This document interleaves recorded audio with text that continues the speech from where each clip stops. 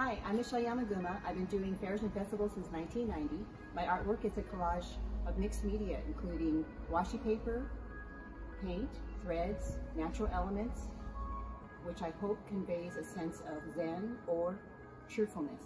Thank you for taking a minute to look at my artwork.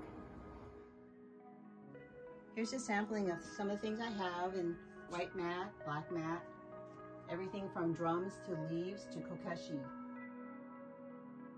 You're welcome to email me and ask for the subject you'd like to see and I'll email pictures of what I have in stock.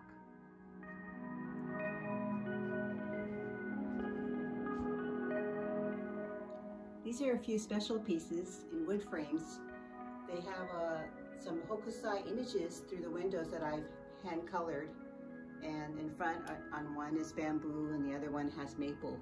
The maple and bamboo are both real.